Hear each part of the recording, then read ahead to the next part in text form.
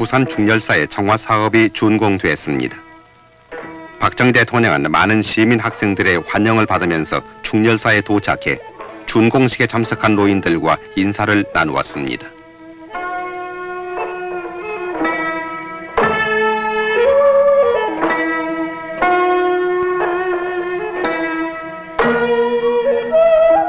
박 대통령은 중열 사당을 참배했습니다.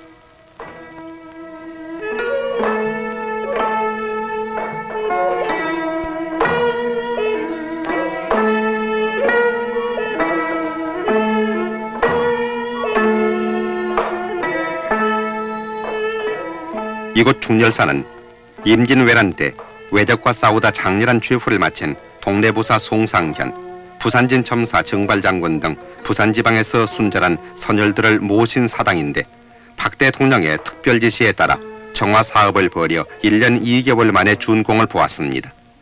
박 대통령은 기념관에 들러 선열들의 유품과 임진난 기록화 등을 돌아보았습니다.